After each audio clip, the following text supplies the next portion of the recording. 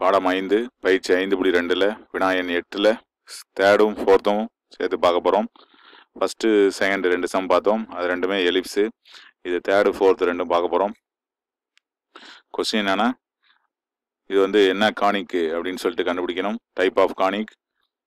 Mind அப்புறம் வந்து என்ன கண்டுபிடிக்கணும்னா சென்டர் ஃபோசி வெர்டிசஸ் டைரக்டிசஸ் இதெல்லாம் கண்டுபிடிக்கணும். மையம் குவியங்கள் முனைகள் இயக்குவரைகள்லாம் கண்டுபிடிக்கணும்.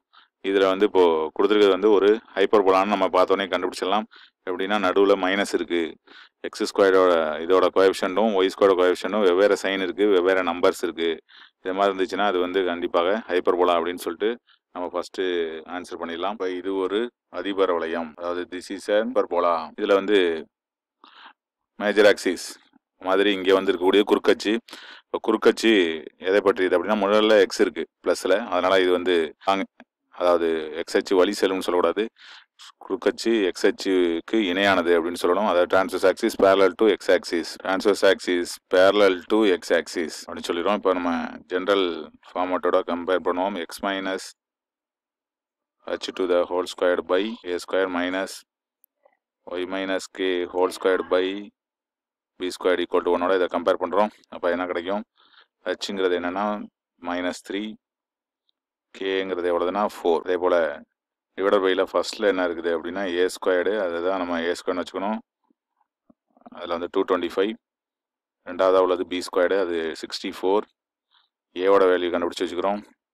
ஏவோட வேல்யூ டூ டுவெண்ட்டி ஃபைவ்னா ஏங்கிறது ஃபிஃப்டீன் சி ஸ்கொயர்டு கண்டுபிடிக்க போகிறோம் சி ஸ்கொயர்டுக்கு என்ன formula a squared plus b squared அதாவது two twenty five plus sixty four ரெண்டையும் ஆட் பண்ணோம்னா எவ்வளோது டூ எயிட்டி நைன் அது வந்து செவன்டீன் ஸ்கொயர் இப்போ சியோட வேல்யூ எவ்வளோதுன்னா செவன்டீன் ஏயோட வேல்யூ சியோட வேல்யூ அடுத்து நமக்கு ஏ பை இயோட வேல்யூ வேணும். அதுக்கு முதல்ல இ கண்டுபிடிப்போம். E இக்கு ஃபார்ம்லாம் வந்து சி பை ஏ சிங்கிறது செவன்டீன் ஏங்கிறது ஃபிஃப்டீன் இது வந்து e ஈங்கிறது ஹைப்பர் புலாவுக்கு கிரேட்டர் தன் ஒன் அப்படிங்கிற நம்ம தெரியும். அதை நம்ம யூஸ் பண்ணிக்கிறோம். இப்போ a by e equal to ஏங்கிறது ஃபிஃப்டீன் பை ஈங்கிறது செவன்டீன் பை ஃபிஃப்டீன் வழக்கம் போல் இது ரெசிபுரல் ஆகி ஃபிஃப்டீன் இன்ட்டு ஃபிஃப்டீன் அப்படின்னு வந்துடுது அப்போ fifteen into fifteen two twenty five by செவன்டீன்கிறது A by இப்போ நம்ம கொஸ்டினில் கொடுத்ததை கண்டுபிடிக்க போகிறோம் இது வந்து basic x squared by a squared minus y squared by b square equal to one இது வந்து x minus h to the whole square by a square minus y minus k to the whole squared by b square equal to one இதுதான் வந்து question x plus three whole square by two twenty five minus y minus 4 whole squared by 64 equal to 1 இதை நம்ம use பண்ணிக்கிறோம்.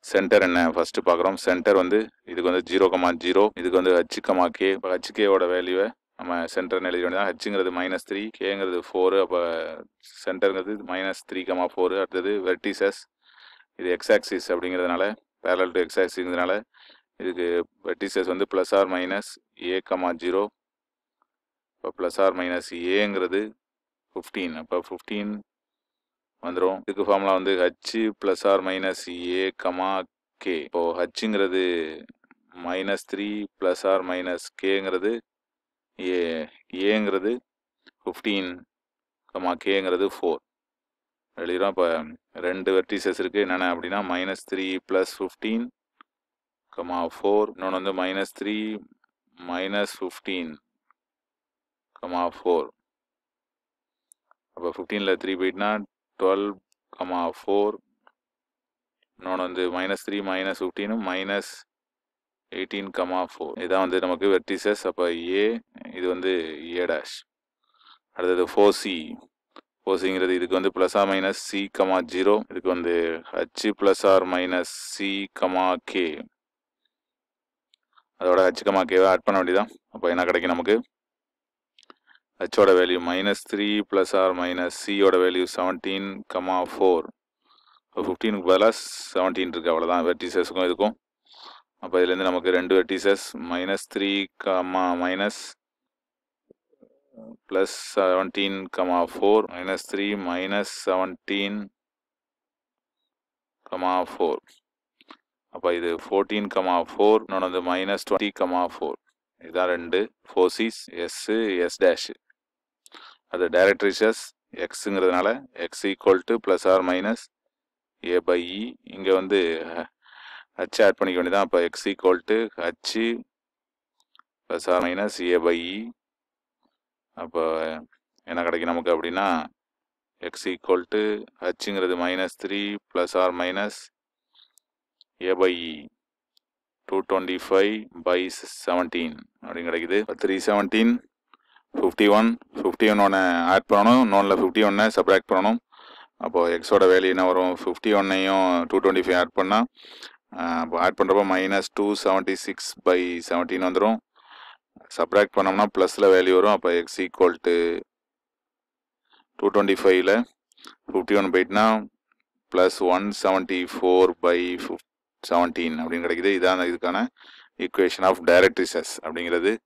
இதை நம்ம கண்டுபிடிச்சிருக்கோம் இதை compare பண்ணுறதுக்காக தான் இந்த காலமே போட்டிருக்கோமே தவிர இது வந்து நமக்கு தேவையில்லை. இருந்தாலும் இதை கம்பேர் பண்ணோம்னா கொஞ்சம் ஈஸியாக புரியும் அப்படிங்கிறதுனால போட்டிருக்கோம். அடுத்தது இதில் ஃபோர்த்து சம்முக்கு போகிறோம் ஃபோர்த்து சம் என்ன இதுவும் வந்து ஹைப்பர் போல தான். நடுவில் மைனஸ் இருக்குது அதோட எக்ஸ் ஸ்கொயரோட கோஎஃபிஷன் ஒய் ஸ்கொயரோட கோஎஃபிஷன்ட்டும் ஈக்குவலாக இல்லை. அதனால் திஸ் இஸ் அ ஹைப்பர் போல அதாவது அதிபர் வளையம் இது ஒரு அதிபர் வளையம் இதில் முன்னாடி என்ன இருக்குன்னா ஒய் இருக்குது அதனால் குறுக்கச்சு ஒய்யச்சு வழி செல்லும். ஒய்யச்சுக்கு இணையானது அப்படின்னு எழுதணும்.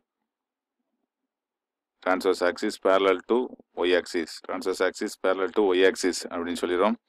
இப்போ நம்ம கம்பேர் பண்ணுறோம் இதோட y minus k the whole squared by a squared minus x minus h to the whole squared by b squared whole to ஒன்னோட கம்பேர் பண்ணுறோம் ஏ ஸ்கொயர்டு ஃபஸ்ட்டு ஹச்சுக்கே எழுதுவோம். ஹச்சுங்கிறது எக்ஸுக்கு பக்கத்தில் உள்ளது. அப்போ ஹச்சுங்கிறது மைனஸ் ஒன் பார்த்தா தெரியுது. எக்ஸுக்கு அப்புறம் மைனஸில் போட்டு அப்புறம் மைனஸ் ஒன் இருக்கிற மாதிரி எடுத்துக்கிறோம் அதை. கேவோட வேல்யூ என்ன அப்படின்னு பார்த்தா ஒய் பக்கத்தில் உள்ளது. K equal to two a squared எவ்வளவு? ஃபர்ஸ்ட்ல உள்ளதில் கீழே உள்ளது டுவெண்ட்டி ஃபைவ் பி ஸ்கொயர்டு எவ்வளவு? சிக்ஸ்டீன் ஏ மட்டும் எழுதிக்கும். ஏங்கிறது ஃபைவு இதுலேருந்து சி ஸ்கொயர் கண்டுபிடிப்போம். C square equal to a squared plus b squared a ஸ்கொயர்டுங்கிறது twenty five B ஸ்கொயர்டுங்கிறது சிக்ஸ்டீன் அப்போ ஃபார்ட்டி ஒன் அப்போ சிங்கிறது ரூட் ஃபார்ட்டி ஒன் அப்படின்னு கிடச்சிருது. இ e கண்டுபிடிப்போம். E இங்கிறது சி பை ஏ சிங்கிறது ரூட் ஃபார்ட்டி ஒன் பை ஏங்கிறது ஃபைவு.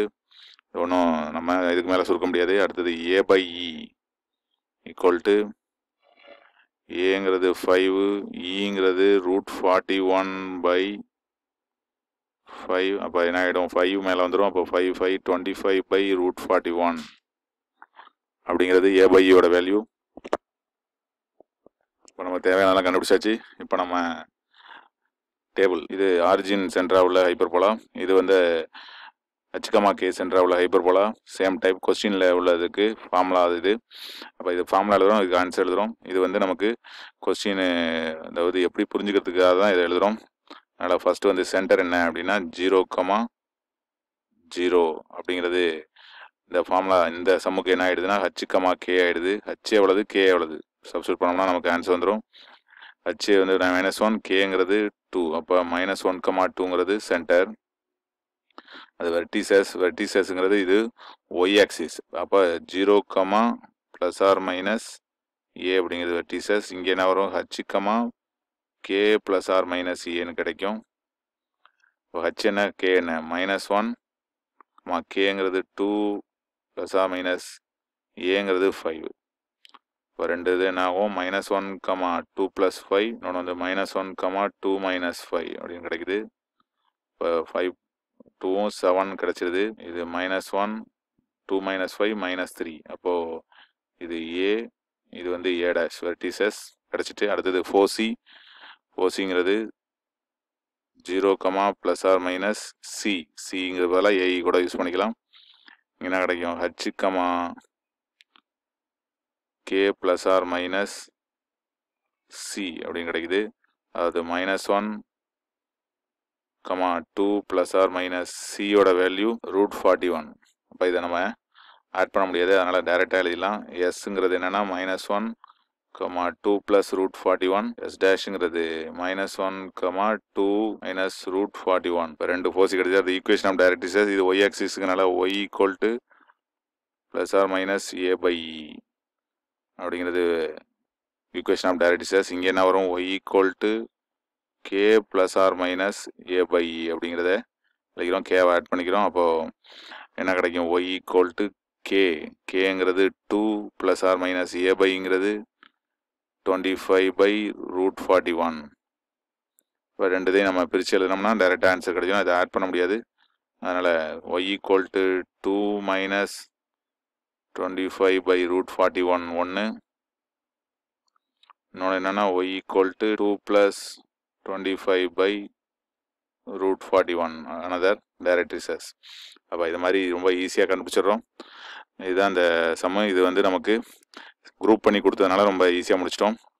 அதனால் குரூப் பண்ணாமல் கொடுத்தா எப்படி போகிறதுன்னா அடுத்தடுத்த சம்மில் நம்ம பார்க்க போகிறோம் அதனால் இந்த ரெண்டு சம்மும் நமக்கு ரொம்ப ஈஸியாக தேர்டும் ஃபோர்த்தும் நமக்கு ஹச்சிகமா கேவை அது இதுலேருந்து ஆரிஜின்லேருந்து எப்படி ஹச்சிகமா கே அதுலேருந்து எப்படி கண்டுபிடிக்கிறதுன்னு ஈஸியாக நம்ம தெரிஞ்சுக்கிறதுக்காக உள்ள சம்மு தான் அது. தேங்க்ஸ் ஃபார் வாட்சிங்